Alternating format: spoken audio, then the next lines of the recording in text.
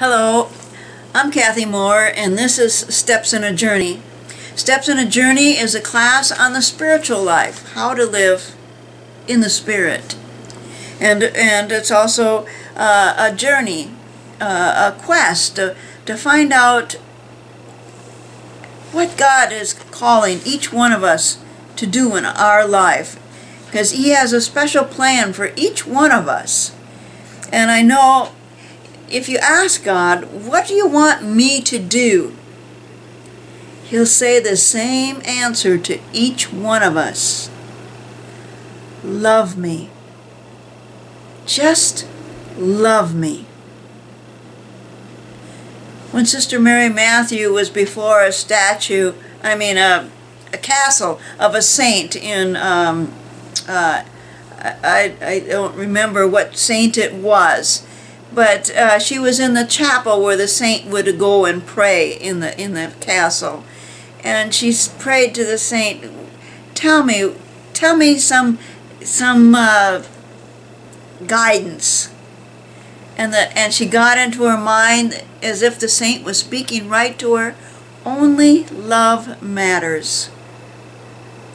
And when we gave our talk on on offering it up the Lord speaking to St. Catherine of Siena. And he said, it's not necessarily offering up your suffering and your pain to me, but offer up your love to me, and your life to me. That's what counts, is your love for me. And, and not necessarily having pain to offer up.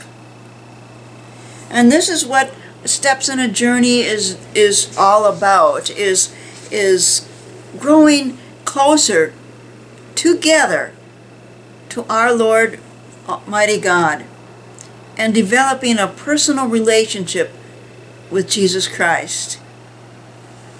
We've been talking on the gift uh, on prayer. We've offered a whole course on prayer and now we're talking on part of it is the Holy Spirit because the Holy Spirit is the one that guides us to prayer, that encourages us to prayer. That it, it's only through the Holy Spirit that we can even say, Abba, Father. And so the Holy Spirit is very, very important.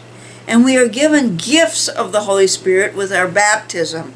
With our baptism, we uh, we have the uh, theological gifts of faith, hope, and charity as well as the other gifts of uh, uh, prudence, justice, fortitude, and temperance.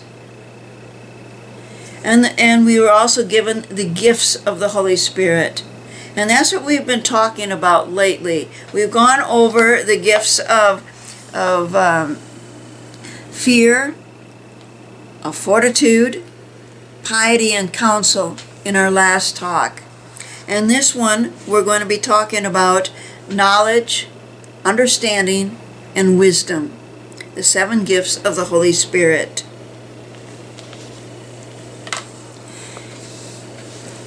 Now, the gifts of fear, fortitude, piety, and counsel, the Holy Spirit regulates our moral life. Whereas by the other gifts, understanding, knowledge, and wisdom. He governs our theological life. That is our relationship with God. The first four gifts perfect the moral virtues, especially especially. And the last three perfect the theological gifts of faith, hope, and charity. They are the so-called gifts of the contemplative life, the life of prayer and union with God.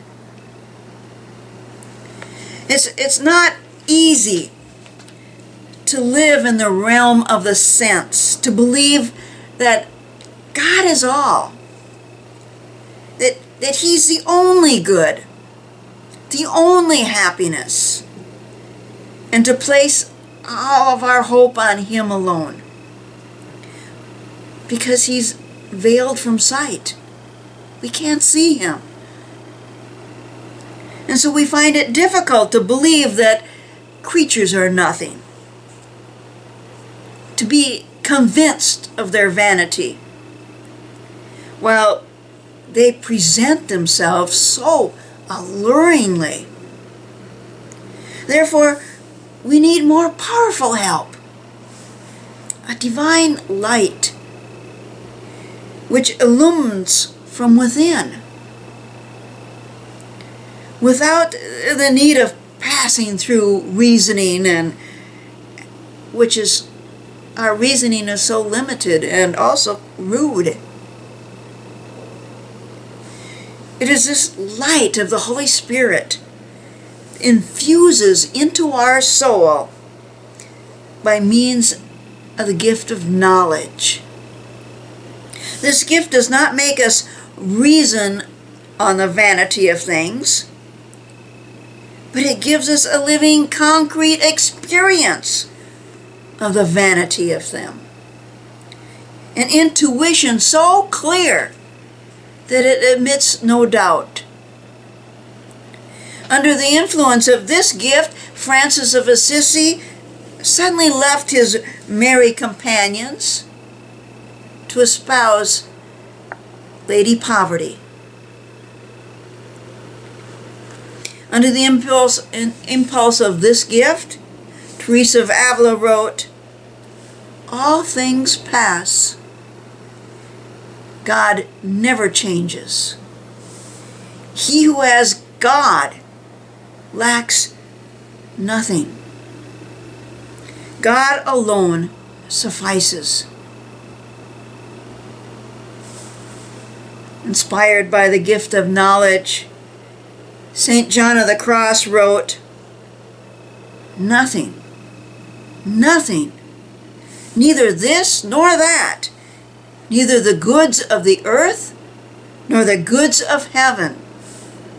That is, not even the joys and consolations, but God alone. In the measure that the gift of knowledge develops in the soul, it understands and tastes the nothingness of creatures, which makes it relish the all of God and feel the need of escaping from creatures to plunge into Him. This is the first step toward contemplation. God is the only reality. And it is He who gives value to all things, either because they are the works of His hands or because they are works done for His glory. And the Holy Spirit reminds us of the words of Jesus. What shall profit it a man if he gain the whole world and suffer the loss of his soul. As from Mark chapter 8, 36.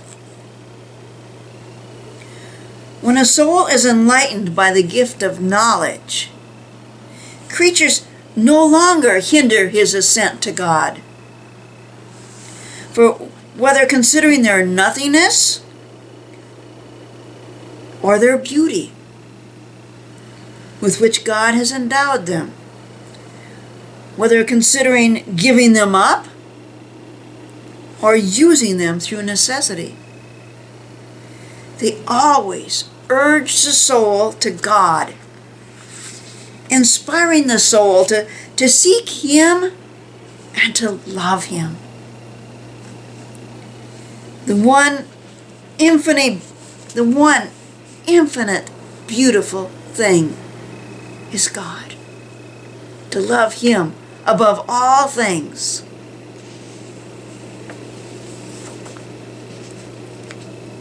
It goes along with the beatitude of blessed are they that mourn. For they shall be comforted. Matthew 5, verse 5.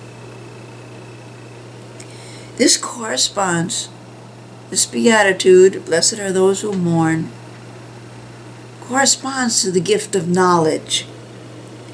Blessed are they who, thoroughly enlightened by the Holy Spirit as to the nothingness of creatures, weep for the time spent seeking the creatures.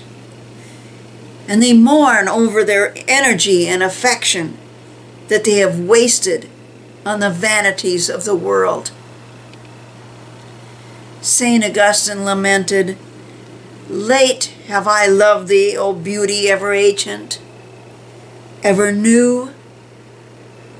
Late have I loved thee. Thou wert with me, but I was not with thee. Creatures kept me from thee.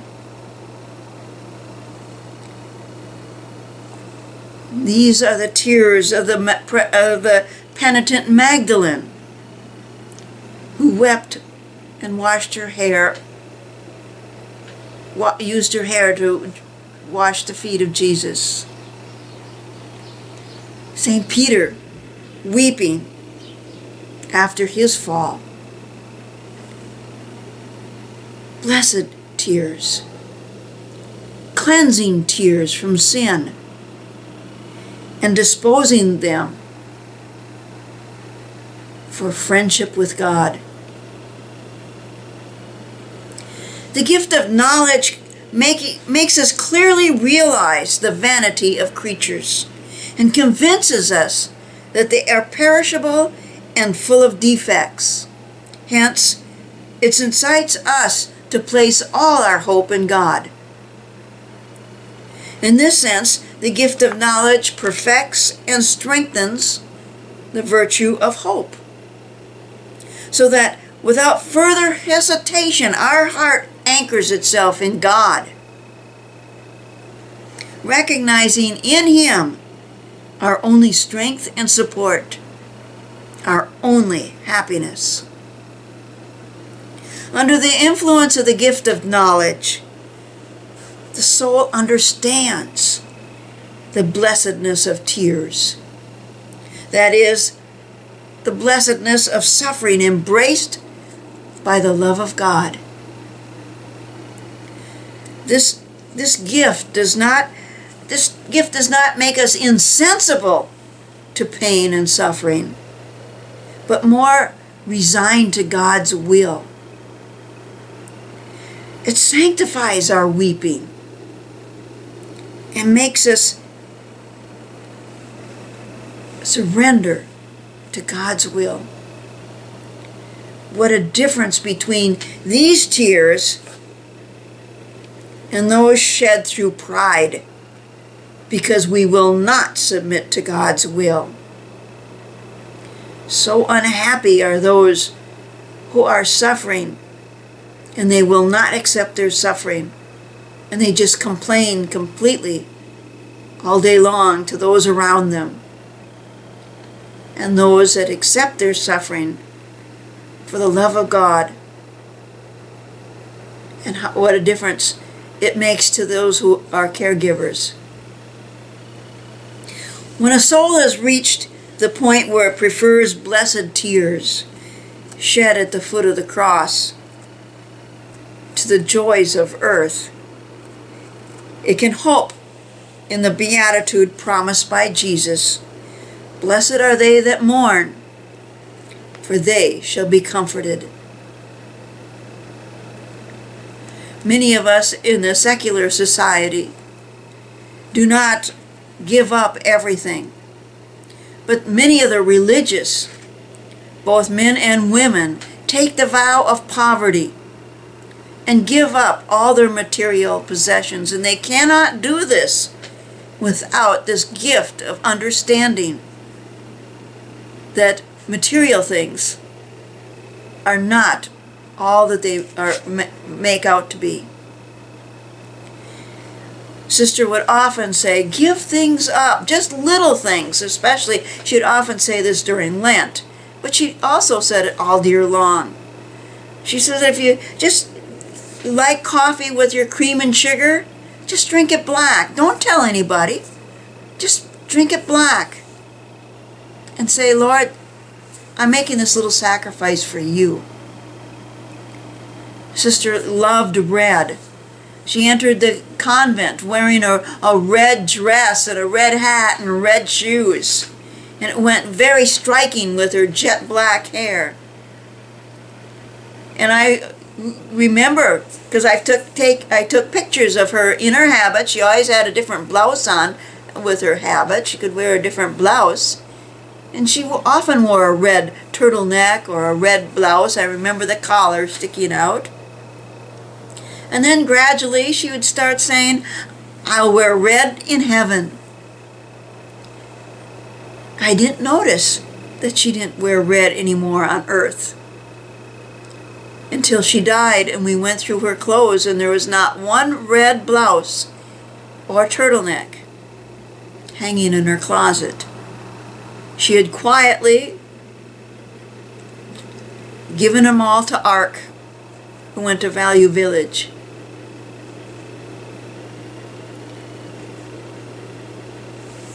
I am not as I have not taken the vow of poverty but I still had to give up many, many things in my household to come and join Sister. I came with her in my little blue escort, and everything that the escort contained, that's how much I had when I joined Sister. Yes, I acquired quite a few things after she died, and, and I have a storage house now. But uh, I have also many ministries in which that storage is very uh, useful for. Because, uh, you know, when you just live in a bedroom, you just don't have enough room for the, uh, you know, CD cases, DVD cases, because I make many CDs, DVDs, camping gear. I still go camping, or at least I hope to. Uh, uh, so there's lots of things that I still haven't given up that I've acquired since I've joined Sister.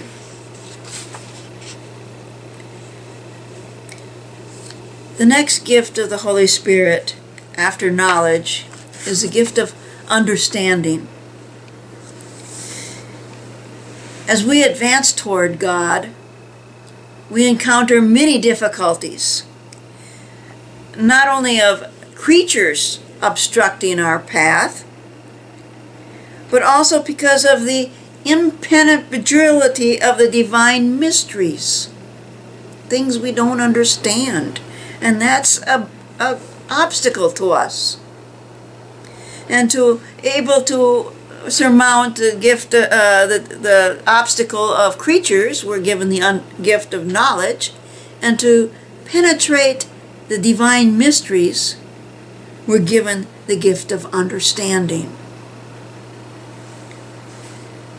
Our intellect is just incapable of, of seizing the infinite. How do you know there's a God when you can't see Him? How do we know what He's like? Our mind just cannot grasp it. Although gifted with faith, its manner and understanding is always human, proceeding by means of ideas and limited concepts, which are totally inadequate to express the divine realities. Revelation itself comes to us in human language, written down in the scripture in the Bible. Therefore, it, it cannot tell us what God is in himself, nor manifest to us the intimate essence of revealed truth. Proceeding with the virtue of faith alone, we are constrained to stop, so to speak, at the at the surface of the divine mysteries. We know with certitude that, that they have been revealed by God, and we adhere to them with all of our strength, and yet we don't succeed in penetrating them. However, what faith cannot do, it is able to do with a gift of understanding. This gift surpasses our human way of comprehension and enlightens us to the divine way. It is a swift, deep penetration which, while adding nothing new to what we already knew from Revelation, does make us understand the inner meaning of revealed truth. Faith tells us that God is Trinity, but the gift of understanding actually tells us nothing more. It does not make us see, nor does it explain the mystery to us, but it makes us penetrate it. Under the influence of this gift, the soul not only believes that God is one and three, but it has the intuition that the mystery of the Trinity is essential to the divine nature and that it reveals better than anything else the perfection, the power, and the infinite love of God. Only the Holy Spirit, who is God, can make us penetrate the divine mysteries. Eye has not seen, nor ear heard to us what God has revealed by his Spirit. For the Spirit searches all things, yea, the deep things of God. So the things also that are of God, no man knoweth, but the Spirit of God. Now, we have not received the Spirit of the world, but the Spirit that is of God, that we may know the things that have been given to us by God. That's from 1 Corinthians chapter 2, verses 9 through 12. And this is the wonderful work of the Holy Spirit that He performs in us by the gift of understanding. He communicates a share of knowledge of the divine in, in, mysteries to souls united by Him by love. Love, love. There was that word. What do you what do you want me to do, Lord? What is it you want me to do? Love me.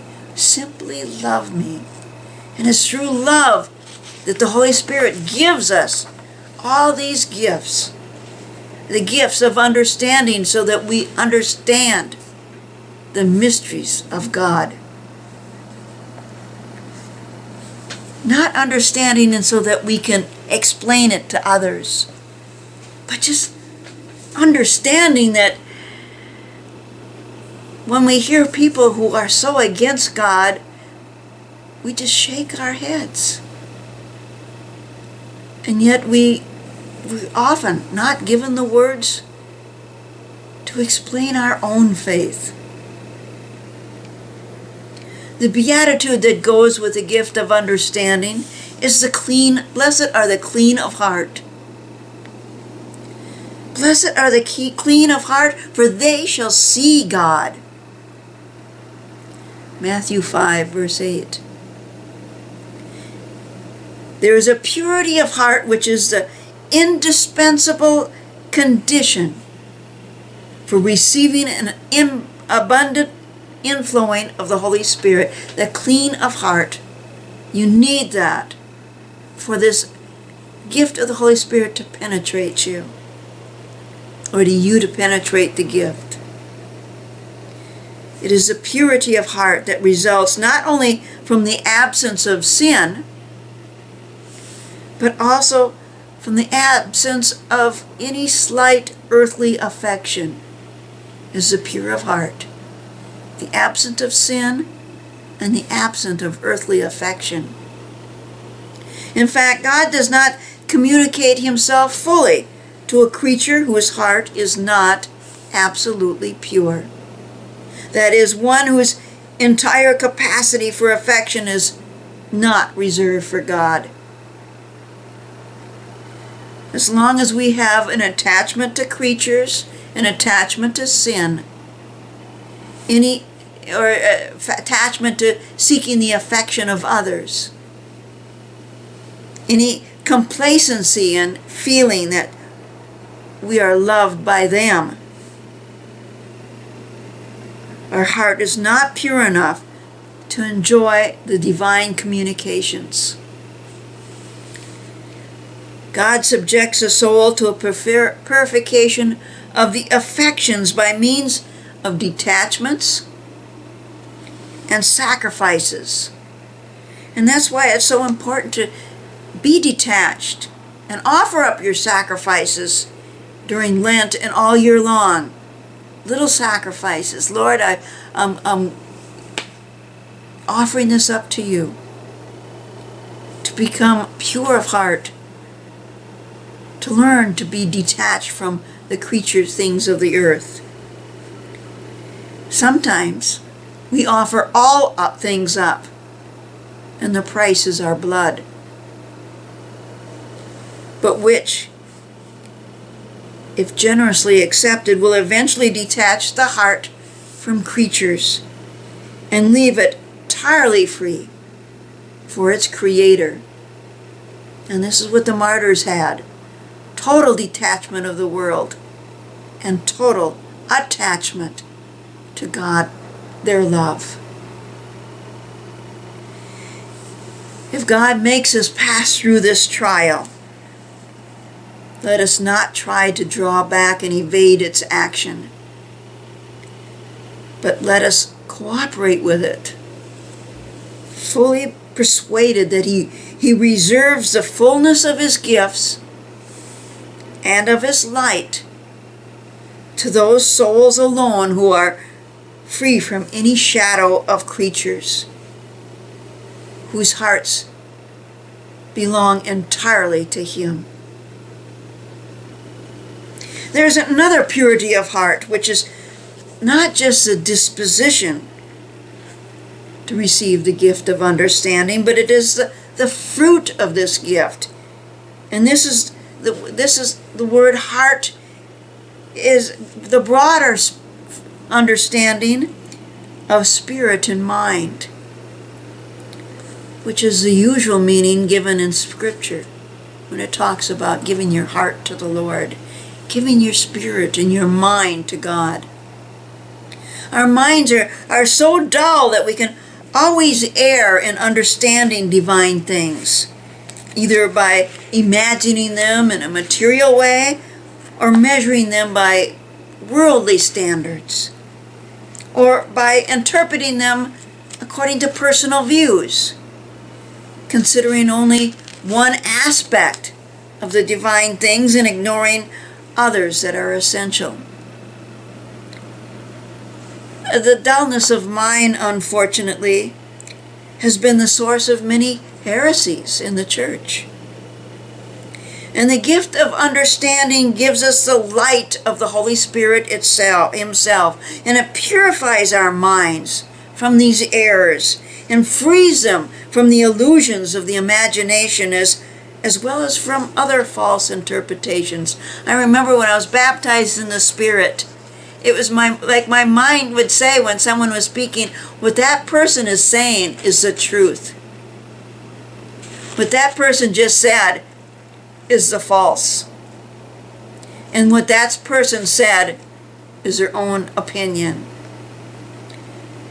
And and and this gift comes forward in many ways when you read books like Harry Potter. My mind just went and said, that statement is false. And that's going to lead children astray. And that statement is totally uh, fabricated. or even listening to some of the debates going on in this election year. It just says, it just rings a bell. Wow, that person is way off. You can just spot it. And it is this gift of understanding that allows you, your mind, to grasp such things. This gift, which allows us to penetrate the divine mysteries by the infused light of the Holy Spirit, makes us clearly understand that God cannot be enclosed by our dull imaginations, nor in our limited ideas, but that He is infinitely superior to anything we can think or imagine about God. And God never changes.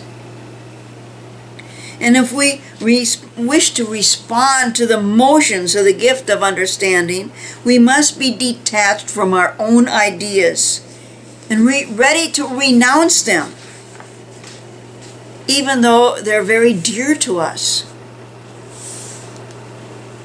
We must not be too sure about our way of understanding of the things of God but must seek the guidance of the church.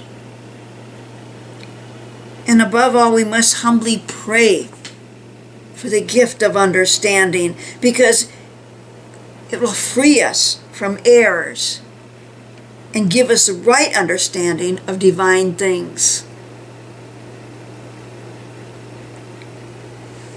Infused light of understanding by the Holy Spirit. And they said the same thing about infused light of knowledge of the Holy Spirit. It's infused, it just comes into you. And uh, this happened to me in, when I lived in California. We had a prayer group. Uh, we met after church on Wednesday. There was about 12 or 13 of us that met and Father met with us, and we were, it was a Bible study group. And when the Catechism of the Catholic Church came out, we asked Father, can we study the Catechism? And so we did for two, the two hours after Mass. And, and uh, went paragraph by paragraph deep into uh, discussing and talking about what was in the Catechism. One day, one Wednesday, Father couldn't be there. I think he had a, a sick call and he had to go away. And so he wasn't there. And we had a wonderful skeptic in our class. A good skeptic in a class raises a lot of questions and makes you think and, and makes you want to uh, use your knowledge to explain what's going on. Well, this skeptic said, I don't know about you people, but she says, I just cannot believe that Jesus Christ is in that piece of bread that we receive in communion. She says, I just, I just can't grasp that. And so the people were explaining it and trying to help her to understand. And I sat back silent because in a flash I realized I didn't understand it either. I didn't I didn't believe it either. So that night I went home and and went to bed and I prayed about it. And I prayed, Lord, I believe that you are in the Eucharist because it is something that's been taught to me all my life. So the gift of faith Help me to believe this Lord, I also believe it because I believe in the stories of Eucharistic miracles. I believe that when uh, the Eucharist bleeds, I believe those stories. But Lord, I don't believe. Please remove my unbelief. And I went to sleep. In the middle of the night, I woke up and I was in a box of light. And I thought, that's interesting. And I went back to sleep. In the morning, I didn't even think of this. Got up, got dressed, fed my animals, ate breakfast, and then I was headed for the computer. And as I walked across the living room, I stopped. With a flash, I remembered it all. But I realized I was a changed person. I believe totally that Jesus Christ is present in the Blessed Sacrament, in that piece of bread. I believed it totally. In my mind, in my heart, in my very marrow of my bones. I didn't even listen to the explanations yesterday, so that didn't sink into my mind. This was an infused light of understanding that went into my soul, helping me to believe. No one, no one can under, take that belief away from me now. No one. But I believe totally. Shortly after that was Holy Thursday. It was one of the few Holy Thursday events in which I was alive with what was going on in the Blessed Sacrament there. And after the, the Mass, uh, everybody left. Uh, well, the, first of all, the ladies came up and cleared off the altar of everything. And then everybody left, even even father. Just my one friend and I remained before the Blessed Sacrament. And father, in other years, had placed the Blessed Sacrament in the middle of the altar. But this year, he had a little table. And he had set the Blessed Sacrament on this table, and it was right in front of the first row. Now, the first row uh, of uh, bleacher uh, pews in the in this church uh, this very little church in Fort Jones, uh, didn't have kneelers. You knelt on the very first row of, of the of the sanctuary, the very first step of the sanctuary. And so my friend and I went to the first pew to to kneel on this first row, just right in front of the Blessed Sacrament there. And we went to kneel and we couldn't. We couldn't kneel. A force held us up in the air. And, and I don't know how long we stayed there. I know I didn't stay there very long. Because I felt this force was like I wasn't worthy to be that close to the Blessed Sacrament. And so I got up and moved a couple of rows back and knelt. But my sis, my friend stayed there, suspended, with her knees above the ground. And you, you physically, it's you know, you, your muscles don't hold you up that long. And so it was a force another thing, you know, it never happened again. But reinforcing the belief that Jesus really is in the power in that bread. His power, His life, His whole being, His body, blood, soul, and divinity is in the Blessed Sacrament, in that piece of bread. This is infused light of understanding by the Holy Spirit. The gift of wisdom. The gift of understanding enables us to penetrate God's mysteries. But the gift of wisdom takes us even further. It lets us taste them and gives us a delight in the knowledge of them. There are two ways of knowing a speculative intellectual way and an experienced way, experimental way, resulting from a kind of connaturality with the object of our knowledge.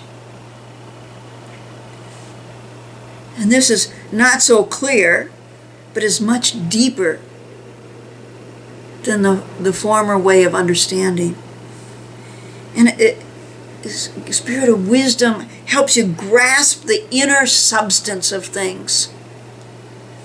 Thus, for example, because of the affinity of thought and affection that binds a mother to her child, she knows its heart much better than any other person. Similar to this is the knowledge of divine subjects, which are which we acquire by the means of the gift of wisdom. Between God and us, there's a certain connaturality, a certain similarity produced by the love that unites us to Him and in some way assimilates us to Him. St. Paul says, He who is joined to the Lord is one spirit.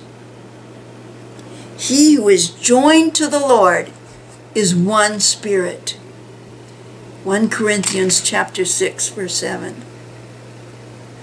The gift of wisdom enables us to know God and the divine things precisely through this connaturality and therefore it gives us a delightful experience of them through love, which is the source of this gift of wisdom. Love is the Holy Spirit. Love is Jesus Christ. Love is God the Father.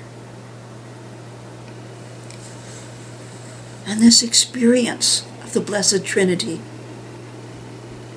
seizes a soul in its very center, that is, in the will, forcibly drawing it to God.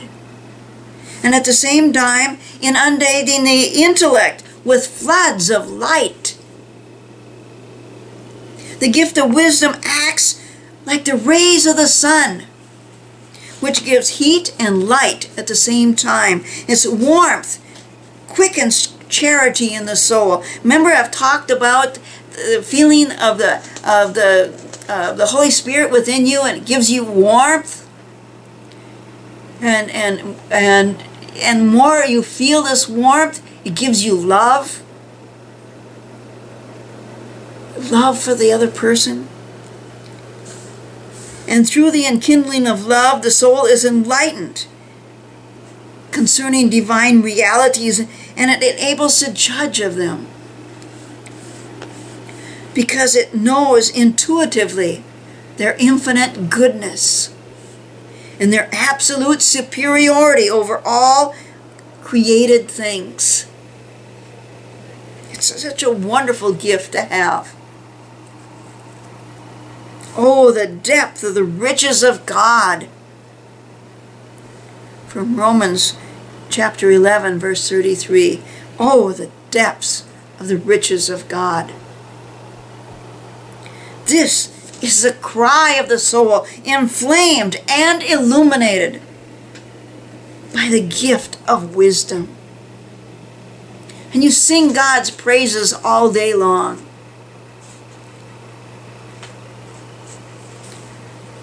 All the gifts of the Holy Spirit are, are closely connected with love, with charity.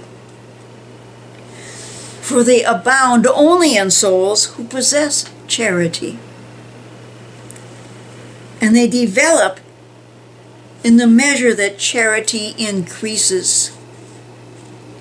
So that the more you feel this love, the more you have this love, the more it increases within a person who loves.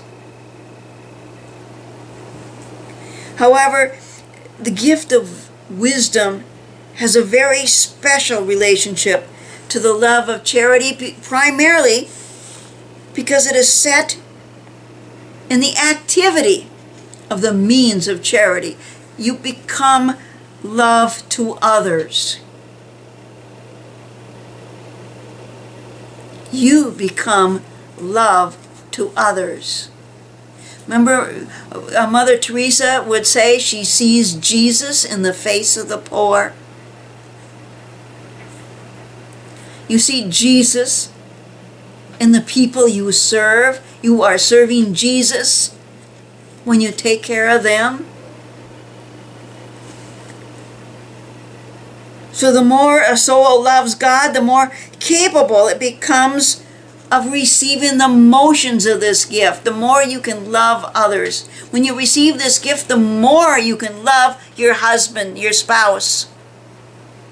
The more you can love your children. The more you can love your co-worker.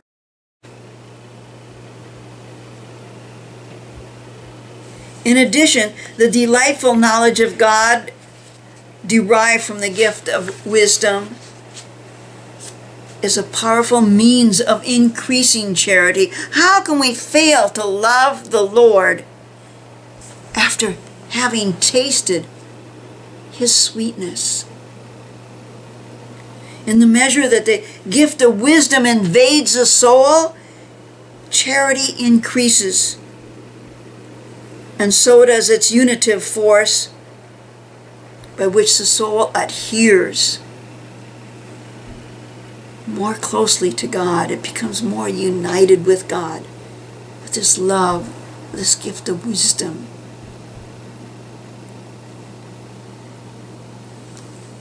Sometimes you're on the receiving end of this love. And for Americans, it's very hard because we're independent. We don't want help from anybody. And I'll never forget the Christmas my dad, uh, he was hardly ever drove, and this was Christmas and it was snowing out. Uh, church was uh, 11 miles away in Ripon, Wisconsin. And his neighbor offered, maybe he asked his neighbor, can, I, can you drive me to church? And they went Christmas Eve. So he drove over to Ripon, went to Mass Christmas Eve, and then they drove back. And on the way back, Dad learned that they were going to turn around and go back to Ripon for a Christmas Eve party. And he felt so bad for making them take this special trip. He wished that he had never asked him if he could ride with them for Christmas Eve. And I said, Dad, this was a gift that they gave you. You've been Jesus to people all your life. And he was now in his 90s. Now it's your turn to let Jesus, let other people be Jesus to you and gain the graces by serving others. So sometimes we have to be on the receiving end of the love of others.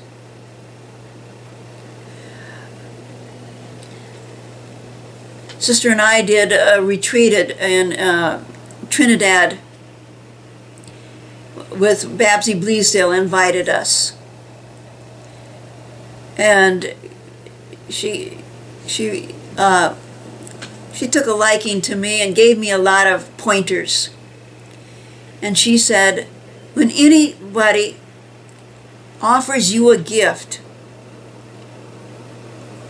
it helps you in your ministry by giving donations or gifts or whatever. Accept it, large or small. Maybe it's only a dollar, she said. But that gift enables them to be part of your ministry enabling them to, you know, you're, you're, you're, you've given yourself to the Lord. This is your ministry now. and you need the help of others. But some people cannot offer you more. Accept that gift because that's what they are giving out of their love and their way of wanting to help you.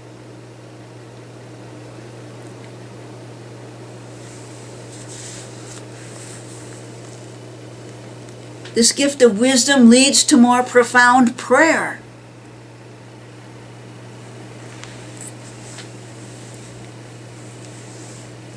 Because the soul is seized and drawn to God in just an irresistible way. You just you just want to spend time talking to the Lord. Just chatting. Not necessarily saying the rote prayers, but just connecting with Him. Just all day long telling Him you love Him. Because it, you, you feel united with Him. You feel that He's right there with you. And He is. But you know it. You feel it. You feel His presence. And you, you know for certain the teaching that God is always present to you. And, and, and He knows, you know this in the most intimate way. And the soul emerges from this prayer just inflamed with love. A love that conforms to the will of God and all that He has planned for you knowing that in the present moment, this is His will for you. Sometimes it's profound when you realize this. Like uh, uh, after I joined Sister, Sister Frances appeared to many people. And one time she, she appeared to Delphine and she said, Tell Matthew, I'm so happy. Tell Matthew that I'm so happy with your new partner. For all eternity, it was planned that she be your partner. And I've, I've meditated on this. You for all eternity. God knew my whole life before I joined Sister. He knew my aches and pains. He knew my life on the ranch. I had always dreamed of living on a ranch and having horses and, and two sons. And that's he fulfilled that dream. As well as being a, still part of the plan of having me join sister.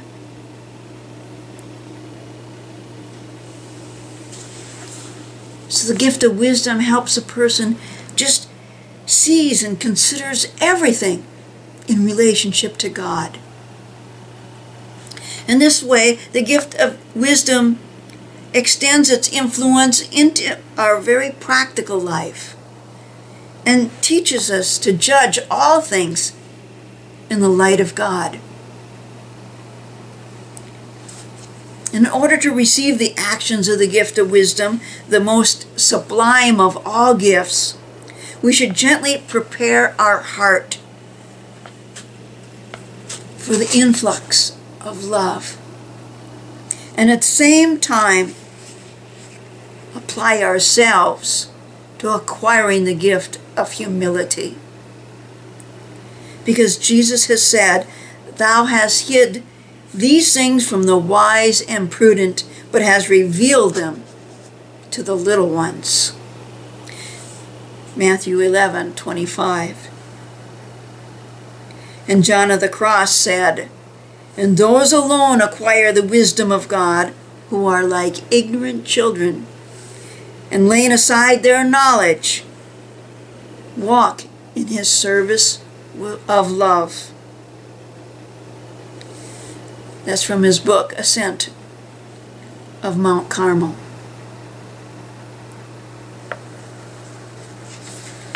The beatitude that goes along with this wisdom, this gift of wisdom, is blessed are the peacemakers. A soul that has tasted God under the gift of wisdom looks at the world with the eyes of God and therefore is able to judge all things by divine principles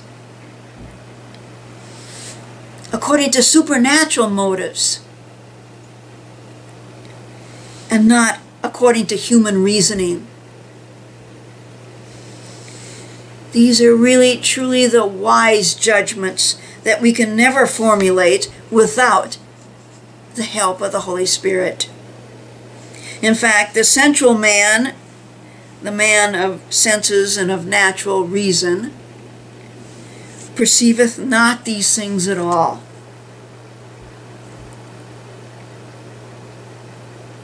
Because they are the gift of the Holy Spirit. To natural man, it is nothing but foolishness. He cannot understand because his spirituality examined. But the spiritual man, the man of faith guided by the Holy Spirit, judges all things. 1 Corinthians chapter 2 verses 14 to 15. He judges all things in relation to the supreme cause, God. Therefore, he directs all his actions and others and orders everything in his life according to God. From this order, the only true order, comes peace. The fruit of the wise direction of the gift of wisdom. Hence, the man who habitually lives under the influence of this gift is a peaceful person. A peaceful person par excellence. His heart is established in peace. There's no longer anything disordered in it. All his affections, all of his desires, all of his thoughts, all of his acts are completely ordered according to God, being wholly submitted and conformed to his laws to His will, to His good pleasure. One who possesses peace decimates peace. A peacemaker is one who makes peace, cultivates peace, and spreads it about him. This is why the gift of wisdom corresponds to the gift of peace, the beatitude of peace. Blessed are the peacemakers. Only one who lives under the influence of this gift can truly judge and regulate everything according to God, so that nothing, not even suffering, can disturb his interior peace. For he knows that he knows that even painful happenings are permitted and ordered by God for the good of his elect. To them that love God, all things work together for good. Romans 8, verse 28. The gift of wisdom leads us to peace. The interior peace of the soul, who having tasted God, gives itself to Him gives itself to God without reserve, in complete surrender to His divine will. The serene peace of one who, seeing God in all things, accepts the hardships of life without being disturbed, adoring God's providence in it. Finally, it is the social peace of him who, considering all men in relation to God as, as his creatures and as his children, loves them all and wishes them all to live in peace with, with everyone. Blessed are the peacemakers, for they are called children of God. All Christians are children of God by grace, but there, here we are considering the special reward that we might call a superabundance of the grace of adoption, an experience by which the soul not only knows, but even feels and tastes that it is a child of God.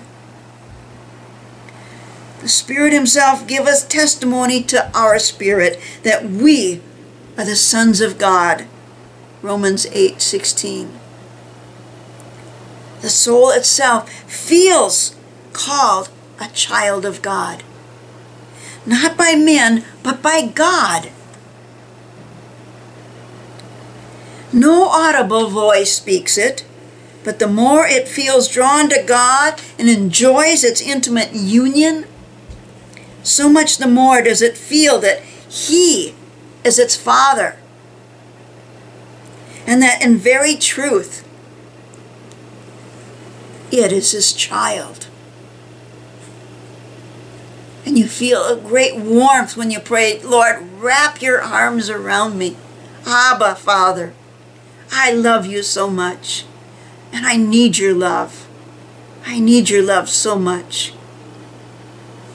Our God is a God of peace, and therefore it is perfectly right that the peaceful man who possesses and diffuses peace should feel in a, in a very special way that he is God's child. If men generally do not feel themselves to be children of God, it is because they are so little disposed to peace, so ready for disputes, so ready for quarrels, so ready for war. They talk about peace, but they do not make peace, for they do not accept the guidance of the Spirit of wisdom. In their ignorance, they prefer to be guided by themselves, and as a result, they are dominated by pride, self interest, cupidity, or love of yourself. They live in disorder and they sow disorder all around them.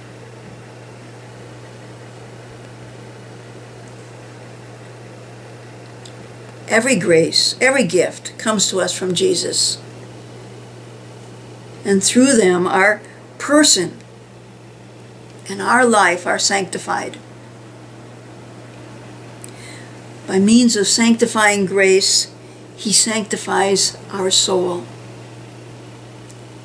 Through the infused virtues, He sanctifies our faculties, our intellect and our mind and our will.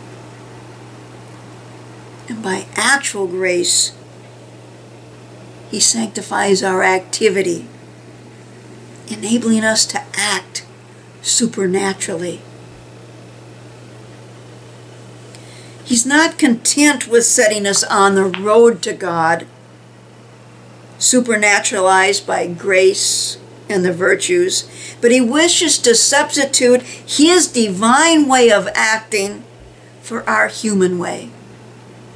Therefore, he enriches us with the gifts of the Holy Spirit, which makes us capable of being moved by God Himself.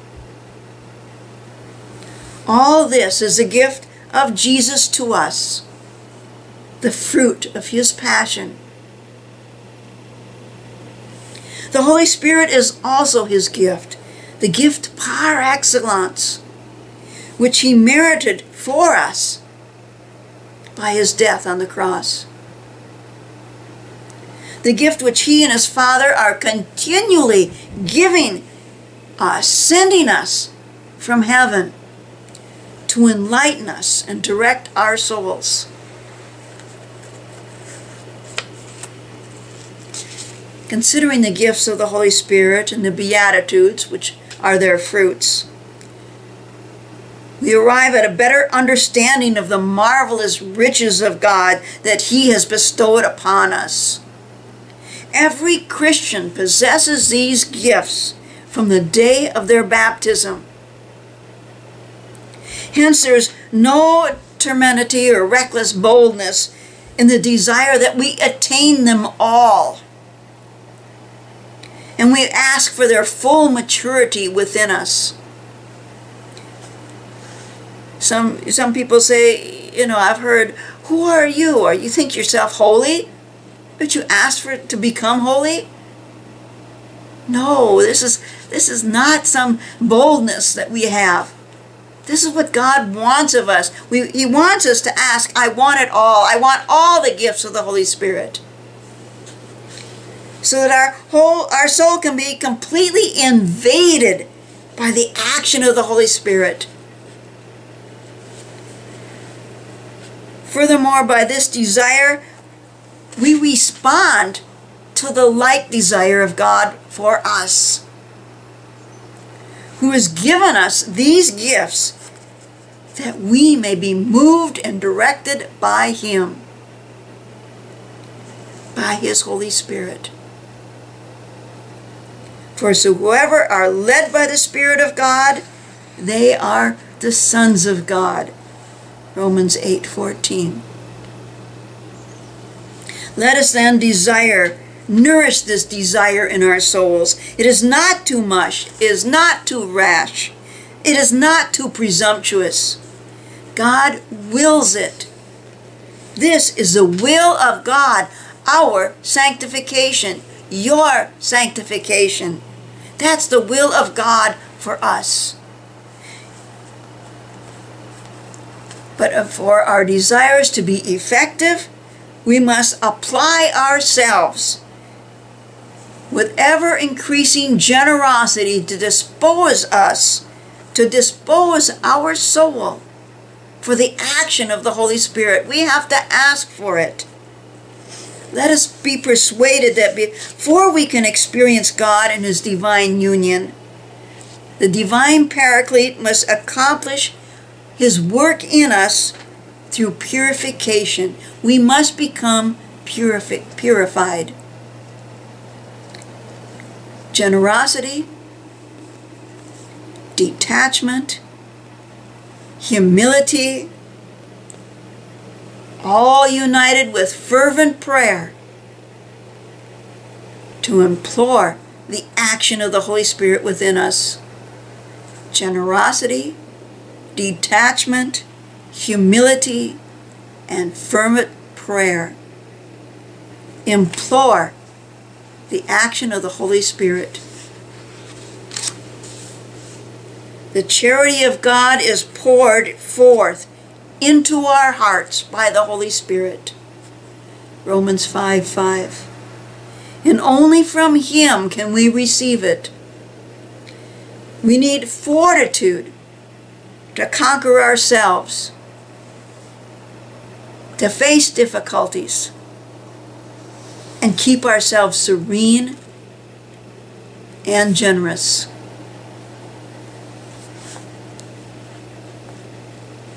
This has all been taken by the, from the book Divine Intimacy.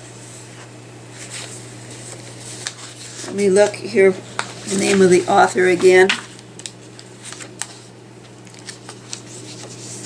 By Father Gabriel of St. Mary Magdalen, OCD, a Carmelite. You can obtain this book through Tan Publishers. It's a wonderful book. It's daily readings for the for the year to grow in the spiritual life, in the mystical life. And this should be a book in everybody's bookcase. If you haven't read it, it's a book that you should obtain and read at least once in your life because it presents so many things. In this one section of the book on the gifts of the Holy Spirit that I've used. Divine Intimacy by Father Gabriel of St. Mary Magdalen.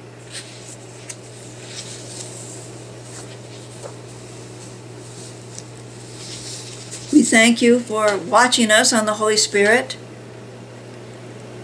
The next session will be on personal experiences. We've gone from the hardest to understand, St. Thomas of Aquinas. We went through the Catechism, Scripture, the, the, the symbols of the Holy Spirit. We went through Born of the Spirit book, written by Ron Ryan. And then we went through the gifts of the Holy Spirit as told by uh, in the book Divine Intimacy. And now we're going to be giving uh, personal witness testimonies of Jesus, of the Holy Spirit in our lives, how it changed our lives. And and thank you for for listening. Thank you for following this course. God bless you.